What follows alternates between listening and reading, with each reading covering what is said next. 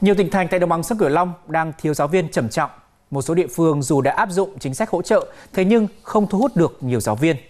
Tại thành phố Cần Thơ thì năm học này đã thiếu gần 700 giáo viên ở cả 4 cấp học, nhiều nhất là giáo viên bậc tiểu học. Còn tại Hậu Giang thì năm học trước đã thiếu hơn 800 giáo viên, nhưng hiện nay thì con số này đã tăng lên là gần 1.200. Còn tại Đồng Tháp thì năm học mới này toàn tỉnh sẽ cần thêm khoảng 850 giáo viên, trong đó nhiều nhất là giáo viên mầm tiểu học, mầm non, các giáo viên bộ môn như là tiếng Anh hay là tin học. Nguyên nhân của tình trạng này được nhận định là do thu nhập không cao so với các nghề khác, những áp lực công việc thì đang có chiều hướng gia tăng. Vâng, câu chuyện thiếu giáo viên lại càng được quan tâm khi mà chỉ còn ít ngày nữa thôi thì năm học mới sẽ bắt đầu. Ở thiếu đi người thầy thì khó có thể đảm bảo được việc dạy học hàng ngày, chứ chưa nói đến là mục tiêu nâng cao chất lượng giáo dục. Trước tình trạng thiếu giáo viên thì nhiều cơ sở giáo dục đã phải tìm tới các giải pháp chữa cháy như là biệt phái hay là dạy liên trường để có thể đảm bảo việc dạy và học, ghi nhận tại một số trường ở tỉnh Bạc Liêu. Trường Trung học phổ thông Võ Văn Kiệt, huyện Phước Long, tỉnh Bạc Liêu. Năm học 2023-2024, trường có 38 lớp với khoảng 1.600 học sinh.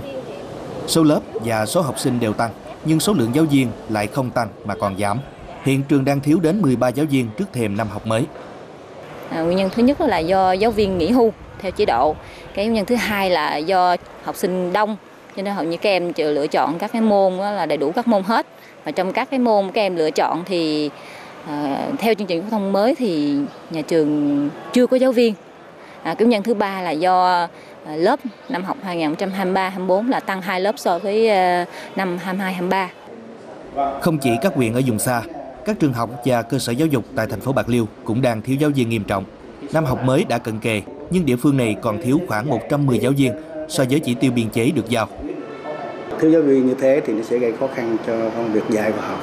Đủ giáo viên thì chúng tôi mới đảm bảo để làm sao phát triển được cái chất lượng giáo dục dạy và học của giáo viên học sinh của đơn vị mình. Theo ngành giáo dục tỉnh Bạc Liêu, toàn tỉnh đang thiếu khoảng 1.000 giáo viên. Tình trạng thiếu giáo viên đặc biệt diễn ra nghiêm trọng ở các môn tin học, tiếng Anh, âm nhạc và mỹ thuật. Số giáo sinh mà mà mà nộp hồ sơ ờ, dự tuyển trong các cái kỳ tuyển viên chức của ngành giáo dục á, có những môn đó là thậm chí là không có người đăng ký và cũng có những môn thì là chỉ ở cái mức độ là à, số người đăng ký và số uh, chỉ tiêu cần tuyển ngang nhau. Các thầy cô giáo à, ở các cái bộ môn thì hiện nay là phần lớn đều phải tham gia giảng dạy tăng giờ tăng buổi. Trước tình trạng thiếu giáo viên, nhiều địa phương ở Bạc Liêu chữa cháy bằng cách hợp đồng, thỉnh giảng, tạm thời đảm bảo học sinh được học các môn bắt buộc.